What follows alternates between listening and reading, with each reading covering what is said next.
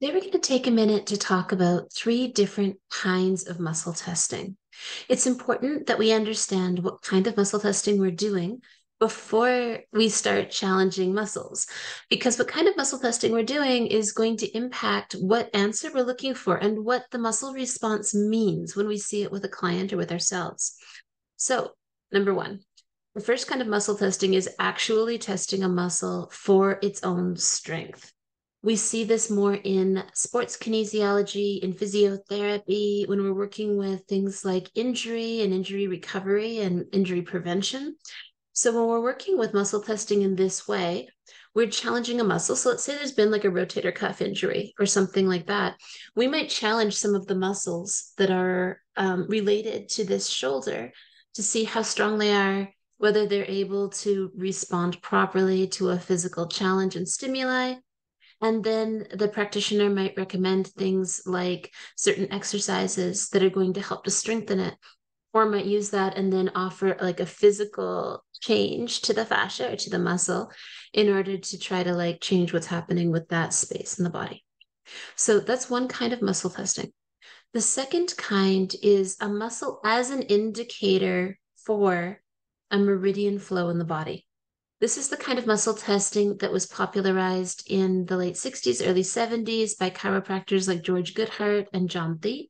And this is the foundation behind applied kinesiology or specialized kinesiology, which is more the kind of kinesiology that I work with.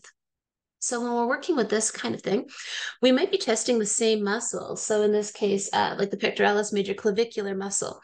But when I'm testing it, I'm not testing it to see how strong is that muscle. Rather, I'm looking at what kind of response do I get here as an indicator for a specific meridian in the body, in this case, the stomach meridian.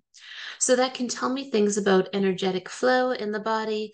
It might tell me things about uh, what's happening with a certain organ system, whether it is stressed or not. It might tell me a little bit about emotional state.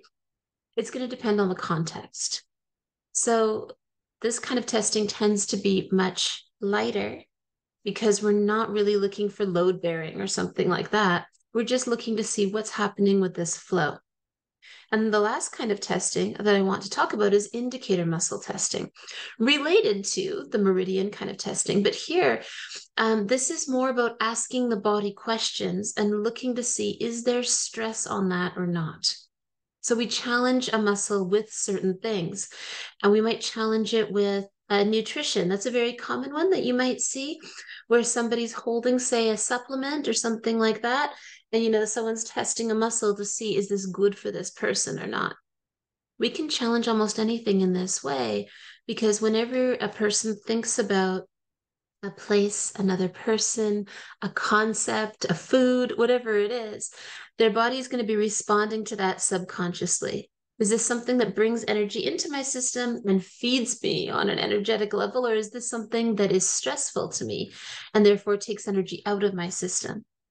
And when we work with an indicator muscle like that, this is what allows us to kind of start creating complex stories and bits of information for this person about like the root cause of whatever's going on in your body.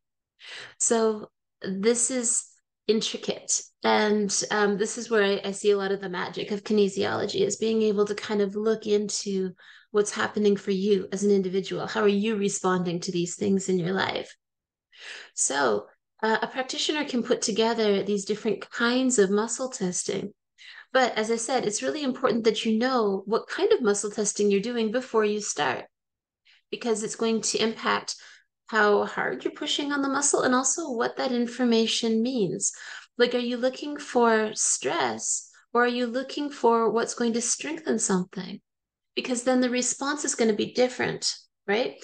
And I think this is where a lot of practitioners get hung up is they're not really clear on what kind of testing they're doing at the beginning and so they're not really clear on what an answer means when they get an indicator change or when they don't get an indicator change.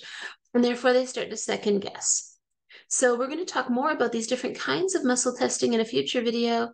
You can also check out our video on three different ways to self test. All right, have fun playing with it.